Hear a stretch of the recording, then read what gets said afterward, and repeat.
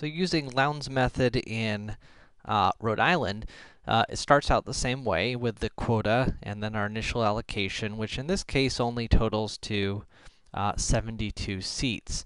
Uh, now, in Lowndes method, to decide where to allocate those three extra seats, we need to figure out the ratio of decimal part to whole part uh, of the quota. So we take the 0.5538 and divide it by the whole part 3, and we get 0.1846 for Bristol.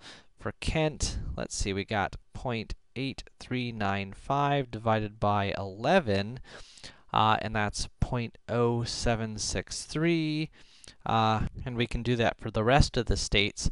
Uh, so looking at those ratios now, now, we can complete our final allocation.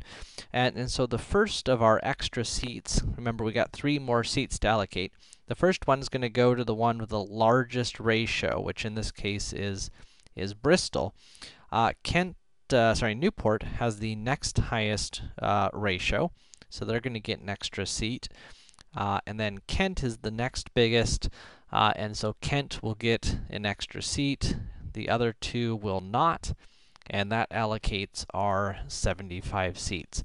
Now again, notice that there is a bias here again towards the smaller, the smaller, um, the smaller counties. Uh, it's probably not surprising that this was never accepted by Congress, considering that the smaller states that uh, that it would benefit uh, don't have as much say in the decision making uh, as the larger states. Anyway, that is Lowndes' method.